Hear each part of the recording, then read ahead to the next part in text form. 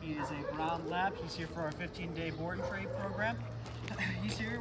His mom and dad brought him in because he likes to jump a lot, likes to kind of knock you over, and he's just a crazy, hyper, super excited lab. Off. He likes to jump. So we're gonna see what he knows and what he doesn't know, and then we'll take it from there. Hey, Goose, can you come? You sit? Can you sit?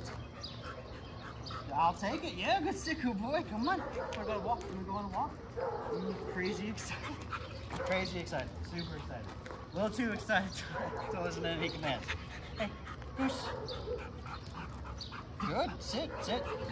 You sit. Good. You down? Down. Goose. Down.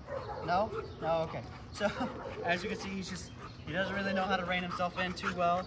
So, stay tuned to check out Goose's transformation from now to day 15. And thank you for choosing Bulletproof.